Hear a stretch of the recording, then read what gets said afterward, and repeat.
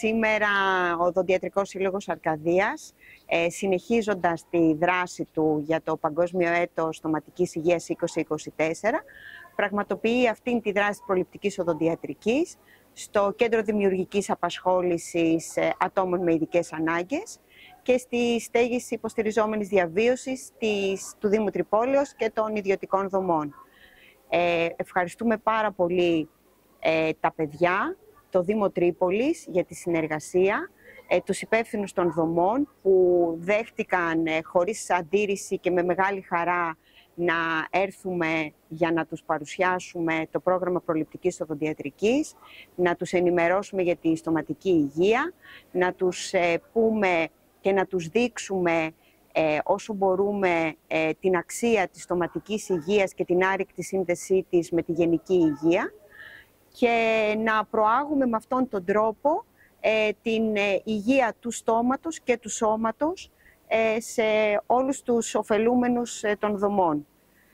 Θέλουμε να ευχαριστήσουμε την Ελληνική Οδοντιατρική Ομοσπονδία, η οποία υποστηρίζει όλη αυτή τη δράση του Οδοντιατρικού Συλλόγου Αρκαδίας και βεβαίως την Oral B,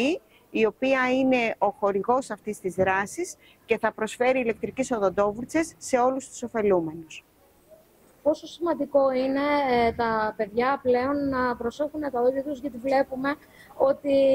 ε, οι γονείς βέβαια δεν έχουν και τόσο πολλές γνώσεις. Πρέπει ίσως να απευθύνουν στον οδοντίατρό τους για να δίνουν περισσότερες συμβουλές. Ε, σήμερα και οι γονείς και τα παιδιά νομίζω πως πια γνωρίζουν την αξία της στοματικής υγείας. Ε, υπάρχουν πάρα πολλά προγράμματα, υπάρχουν μαθήματα στο σχολείο. Ε, οι σύλλογοι, οι οδοντιατρικοί σύλλογοι ανά την Ελλάδα συνέχεια κάνουμε δράσεις ενημερωτικές και προαγωγής της ε, στοματικής υγείας και βεβαίως ε, ενημερώνουμε συνέχεια ότι πρέπει όλοι μας από την παιδική ηλικία ε, μέσω της πρόληψης αλλά και μετά της φροντίδας να επισκεπτόμαστε τον οδοντίατρο μια φορά στους 6 μήνες. Όπως είπε και η κυρία Πρόεδρος του Οδοντιατρικού Συλλόγου, ε, πάντοτε ο Οδοντιατρικός Σύλλογος ε, προσπαθεί να προάγει τη στοματική υγεία στην κοινότητα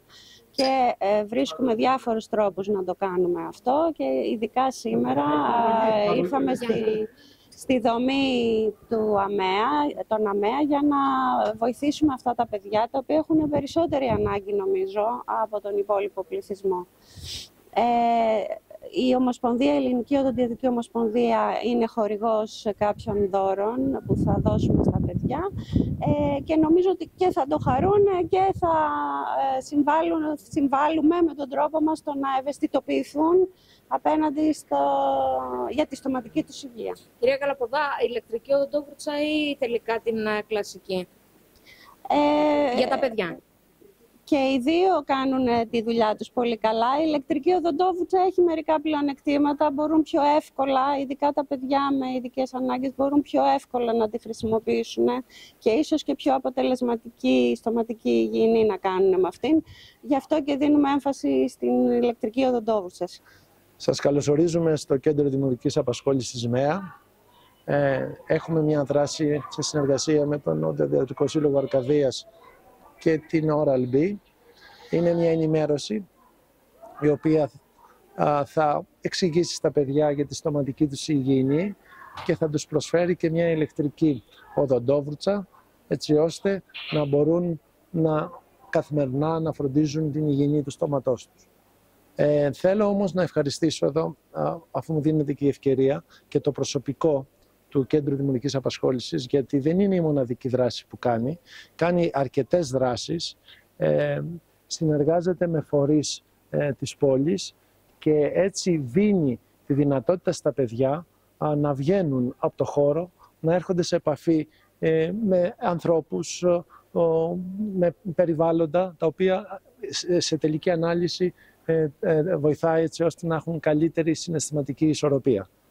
Και φυσικά θέλω να ευχαριστήσω και εσάς που καλύπτετε ε, αυτά τα γεγονότα που κάνουν και έτσι ευαισθητοποιείτε και τον κόσμο γιατί ε, δυστυχώς τα τελευταία χρόνια γίνονται βήματα στη χώρα μας για τα άτομα με ειδικές ανάγκες και πιστεύουμε ότι αυτή η δράση και η δομή του Δήμου προάγει και βοηθάει και τους γονείς έτσι ώστε να μπορούν και αυτοί να παίρνουν μια βαθιά ανάσα.